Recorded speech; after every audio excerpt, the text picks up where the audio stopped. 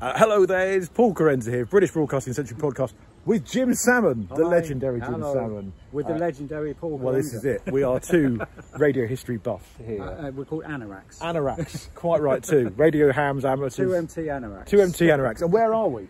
We're in Lawford Lane. Lawford We're actually Lane.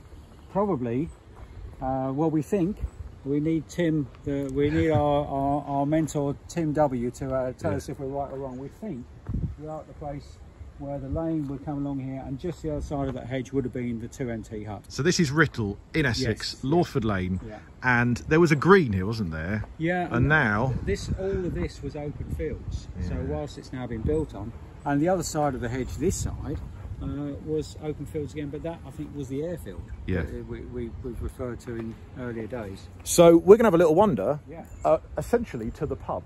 Yes. Yeah. Except it's not to the pub we can't go in there and have a anymore. No, and it's we no longer a fish and chips. No, exactly. It's no longer a pub. But the story, if those who've not heard it on the podcast or the many other places we've, we've waffled on about it over the years, um, the Writtle Hut, where regular British broadcasting began, uh, out of the Marconi, uh, the research department. But what they would do is they would go to this pub at the end of their working day on a Tuesday and then plan this thing called broadcasting that they were asked. And, they, and, Asked to do. and I think it, it helped the fact that they probably would have had a fair amount of time. I guess they would have set the transmitter up in the hut Yeah. and then walked up here uh, for their fish and chips and a, a few G and T's, or Yep. I'm sure a few other things as well. And I'm guessing they probably had an hour, a couple of hours maybe up here, Yeah. and um, so they were probably a bit more loosened up when they went back to their place Yeah, of work. I guess uh, so. And obviously, we've got to use our suspend our disbelief a little. That you know, this is all the houses are gone, the greens here. Yeah. But we, th- I thought it would be quite good to do the walk. Yeah. Um, I've got a different video where I've got Marconi House from Magnet House, which they did in central London. But just to get a sense of the geography and the, the time it would take, and also we'll have a little pause here and see Yes. a certain couple of signs here that give us a little nod to the past.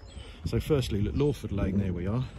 Which in those days was called Lowford Lane. Lowford Lane. The old maps show it as L O W. Ah, oh yes, the long, long low hut for long low people on Lowford, Lowford Lane, yeah, there you yeah, are. yeah.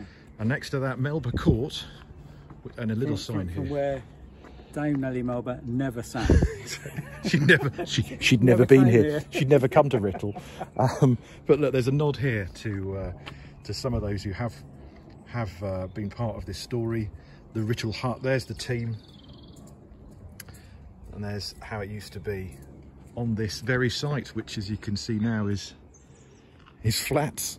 Uh, but um, the way of the pub is that way, so we're going to Yeah. keep uh, going that way. But Jim, you're saying that Chelmsford's that way. So Yes, when yeah. when Peter Eckersley had to leave the Writtle hut to go and nick some parts from the Mm. Yes, Chelmsford yeah, Works, which yeah. he did on an alarming basis. Th- this That this was the way, way. would have taken him. This this lane, although you can't drive down it now, this lane would have taken him out onto I think what is now the A414, which is one of the major routes from the west side of Chelmsford into Chelmsford.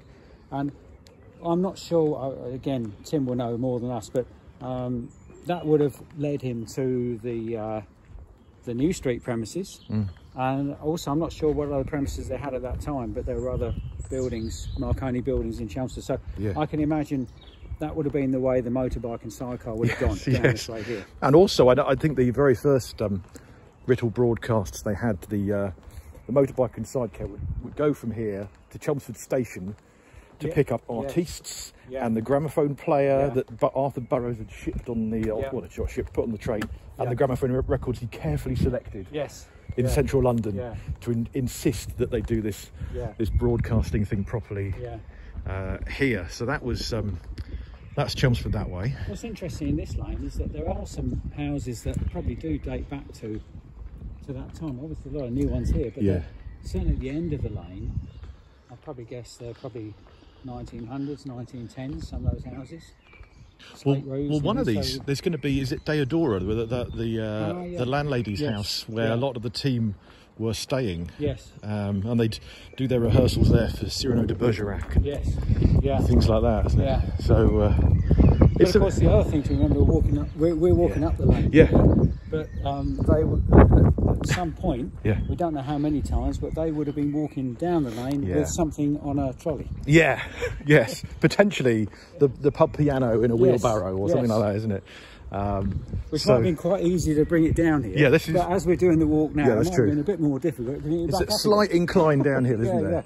yeah. Yeah. yeah, So end of the work day, they're going this way, sober, hopefully potentially, and then we're going to go around the corner and they find the pub. Yeah. They plan the Tuesday evening show. Yeah. There's a van coming, Yes, as we. and uh, and then they saunter back, maybe half oiled, Yeah. on gin and fish and chips, Yeah. maybe with a pub piano. Yeah. So, um, I mean, in terms of the, you know, I, in fact, when I got here, I'd not, I've not been here before, but I thought that was the village green. I thought, oh, this is the village green. No, no, no. This no, is, the, uh, the village green is is much bigger, and uh, around the corner here, the duck pond, and uh, yes, it's a lo- it, it's still a lovely little village. Yeah. Considering how close it is to Chelmsford. yeah, because this idea, I had this impression, the village, the Writtle hut on the village green with a duck pond next to it. Yeah, yeah, but actually, you've got your duck pond over there. Yeah. You've got the pub over here, Yeah. And you've got the Writtle hut, uh, the which was an old army hut, wasn't it, in the First Yes. World War? Yeah. Yeah. Back where we've just been at uh, so-called Melba Court. Yeah. Um, and this is was the pub, but it's now an Indian restaurant, isn't it? Yeah, it's called So- Pakwaan. so there it's you go. got a very good reputation. It's, Yeah. uh, does some nice food in there. Um, and that's for a few years now been Yeah. been an Indian restaurant. So, uh, but we, you know, if you if you think back, you know, just uh, squint your eyes a little bit, just think, oh yeah, just imagine the house is gone. Yeah. Then this was the way, and look, they've even got a little green plaque there Yes. to um, memorialise what was here a hundred years ago this year. And I think the old pictures on the front of the building there, you can see the white, the, the grey colour there, and the wire hanging down. That was the old pub sign, and uh, Okay. I think I'm fairly sure on some of the old historic pictures you can see Cock and Velvet up there. And uh, yeah, Yeah. so that we've just done the walk.